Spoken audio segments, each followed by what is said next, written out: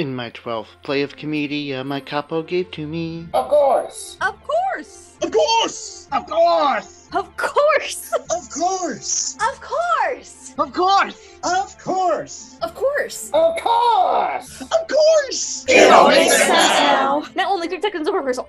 512 ducats. Albatross! Who ate all the tarts? Did the steaming work? Oh, the tart thing was an innuendo. Capital needs just five more minutes. I have lost track of who's who.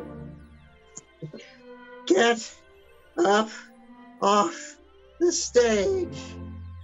Save it for the late show. And this is why we never read the scenario.